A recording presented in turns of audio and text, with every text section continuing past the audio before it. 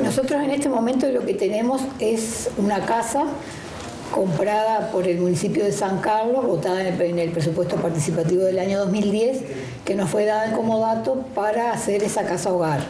Esa casa necesita eh, de varias reformas, sobre todo la parte de baños, hay que hacer todas las baterías de baños y también la cocina. Y trabajamos como corresponde con otras instituciones, damos nuestro aporte, nuestras ideas y trabajamos en conjunto, que es la manera de que salgan los proyectos. Eh, eh, también desde SONTA, desde nuestro centro de, asesoramiento, donde atendemos gratuitamente, ya llevamos más de 600 mujeres con sus procesos, sus, este, soluciones. necesitamos muchísimas veces tener un refugio.